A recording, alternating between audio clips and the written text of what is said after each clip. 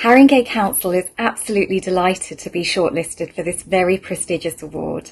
The Great Mental Health Programme is a really ambitious and innovative wellbeing initiative which comprises of a diverse range of community-based wellbeing activities and digital mental health support. As part of the programme, we created a Great Mental Health Day, which we held on the 28th of January this year.